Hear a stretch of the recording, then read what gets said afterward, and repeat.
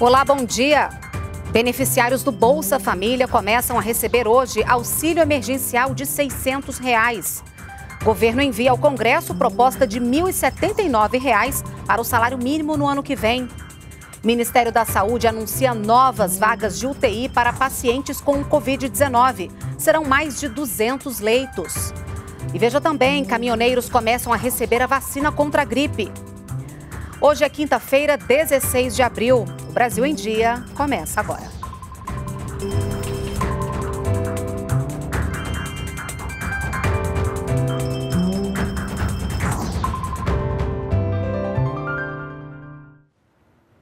São 9 horas e 45 minutos. Nós estamos ao vivo também pelas redes sociais. O Senado aprovou em primeiro turno o chamado orçamento de guerra para facilitar os gastos do governo no combate à pandemia do novo coronavírus. Vamos conversar então com o repórter Glauco de Queiroz, que explica agora para gente. Oi, Glauco, bom dia. Olá, Renata. Bom dia para você, bom dia a todos.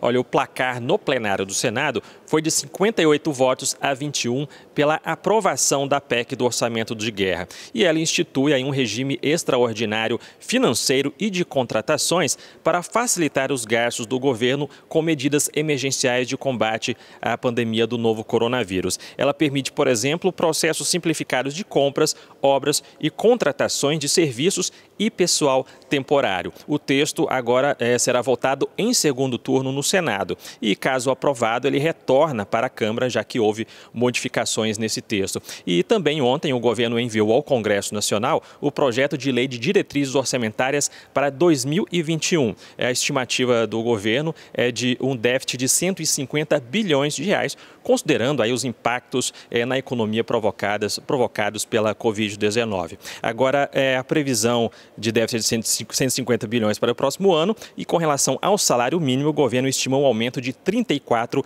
reais. O valor no ano que vem deve, deve ficar em 1.079 reais. Vamos ver mais detalhes na reportagem. A previsão do salário mínimo para 2021 é de R$ 1.079, um aumento de 34 reais em relação ao deste ano. O aumento é calculado de acordo com o INPC, Índice Nacional de Preços ao Consumidor. O reajuste foi anunciado nesta quarta-feira pelo Ministério da Economia, que também detalhou o texto da Lei de Diretrizes Orçamentárias, apresentado ao Congresso. Com a crise provocada pelo coronavírus, o governo prevê um déficit de 149 bilhões e 600 milhões de reais para o ano que vem.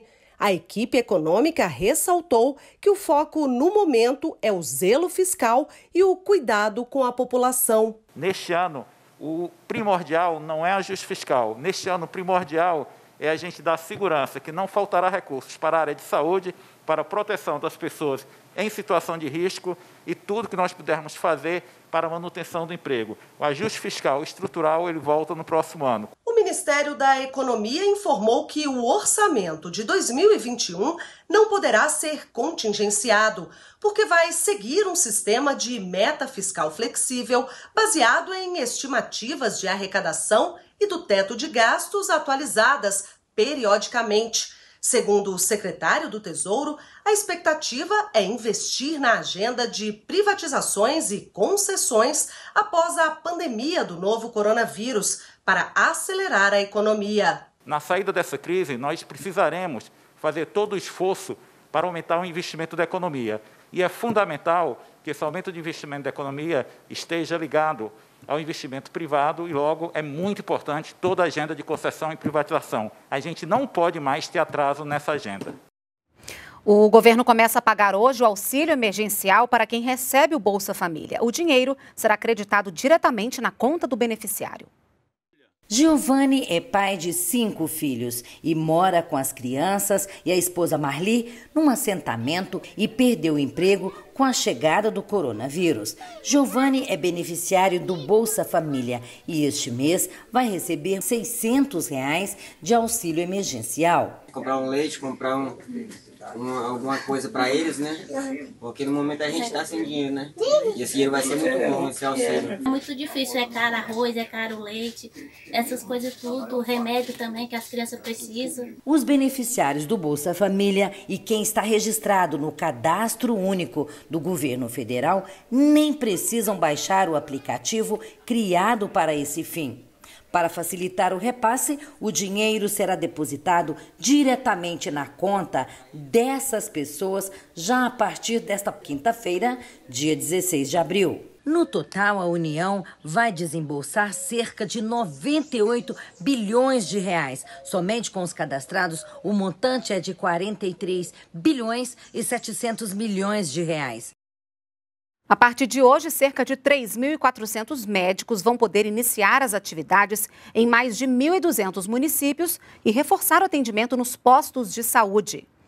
E o Ministério da Saúde anunciou novas vagas de UTI para atender pacientes com Covid-19. O Brasil registra mais de 28 mil casos da doença, com 1.736 mortes.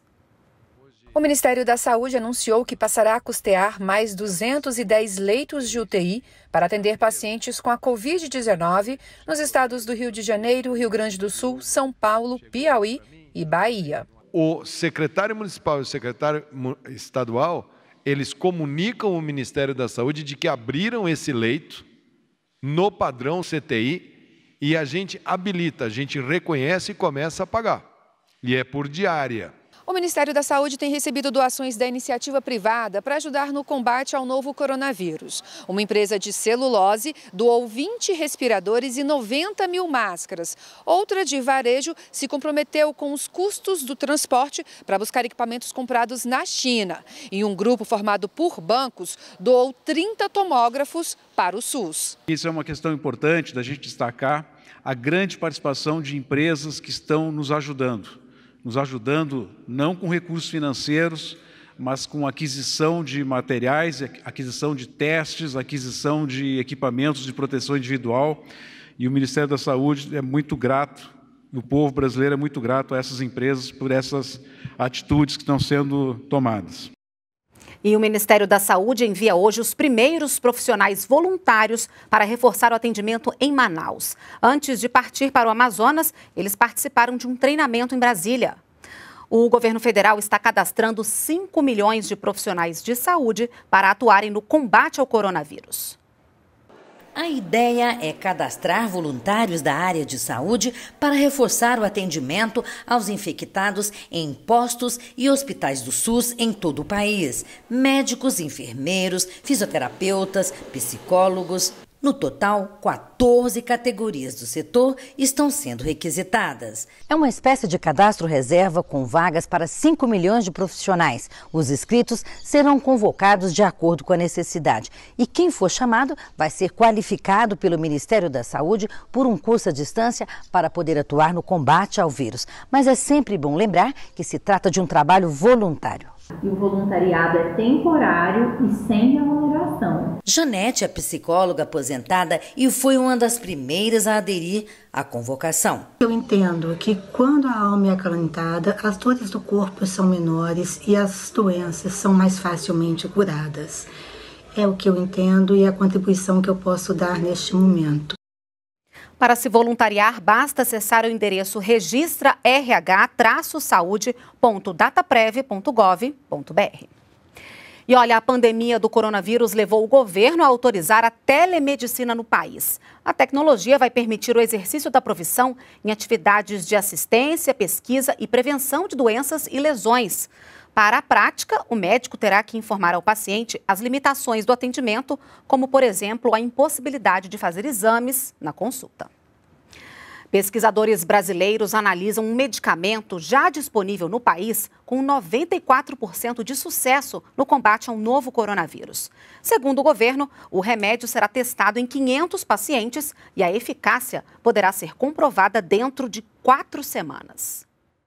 Na busca por uma forma de tratar a Covid-19, os cientistas buscaram nos remédios mais comuns, aqueles que já estão nas prateleiras das farmácias, algum que pudesse ser usado. 40 cientistas do Laboratório Nacional de Biociências testaram 2 mil medicamentos contra o coronavírus. Seis moléculas de remédios apresentaram efeitos positivos e uma delas teve resultado surpreendente, com redução de 94% da carga viral em ensaios com células contaminadas. O próximo passo é saber como esse remédio age no corpo de quem está infectado. E para isso é preciso fazer o teste clínico. Esse teste vai ser feito em 500 pessoas com Covid-19, internadas em sete hospitais do país. Por cinco dias, elas vão ser medicadas e acompanhadas por mais nove dias. Até o resultado dos testes ser concluído, por questões de segurança, o nome do medicamento não vai ser divulgado pelo governo federal. É um fármaco que já é conhecido é, e está é, totalmente disponível no mercado e que não tem grandes efeitos colaterais.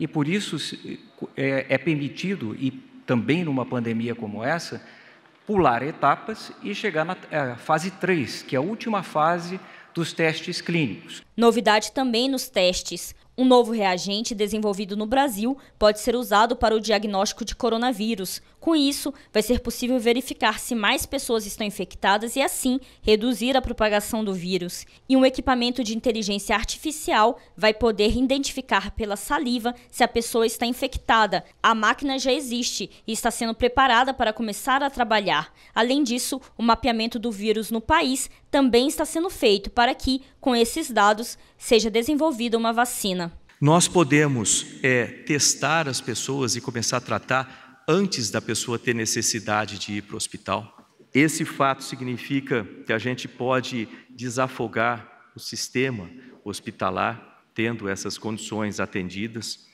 É, e isso significa já preparar com as vacinas para, as possíveis, para os possíveis problemas no futuro, né? proteger a nossa população. Começa hoje a segunda fase da campanha de vacinação contra a gripe e os caminhoneiros estão entre o público-alvo. A gente conversa agora com a repórter Luciana Colares de Holanda, que está em uma das saídas de Brasília e traz as informações para a gente de lá. Oi, Lu, bom dia.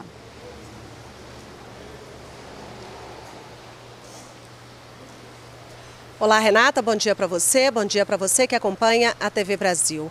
A vacinação, além dos caminhoneiros, inclui nesta fase motoristas de transporte coletivo, trabalhadores portuários, povos, povos indígenas, profissionais de segurança e salvamento, doentes crônicos e funcionários do sistema prisional. A campanha começou no dia 23 de março e vai até 22 de maio. E a meta do governo federal é vacinar pelo menos 90% de cada um dos grupos. Lembrando que o dia D de mobilização é o dia 9 de maio, um sábado, onde todos esses grupos vão poder se vacinar. E olha, a gente recebeu um depoimento de um caminhoneiro lá de São Paulo, é o Márcio Costa. Vamos ver. Falar para os motoristas de caminhão que é muito importante tomar essa vacina para prevenir essas gripes aí. E para a gente, principalmente, que somos caminhoneiros que rodamos aí o país inteiro aí, de estado em estado, tomar essa vacina é muito importante. Em segundo lugar, agradecer ao governo federal pela iniciativa.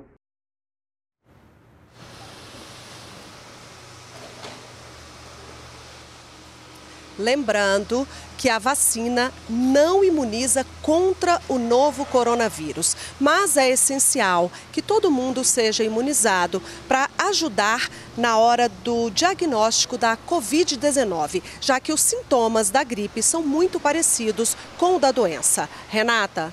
Tá certo, Luciano. Obrigada pelas suas informações ao vivo. O Brasil em Dia termina aqui. Nos acompanhe também pelas redes sociais. Até amanhã. Tchau, tchau.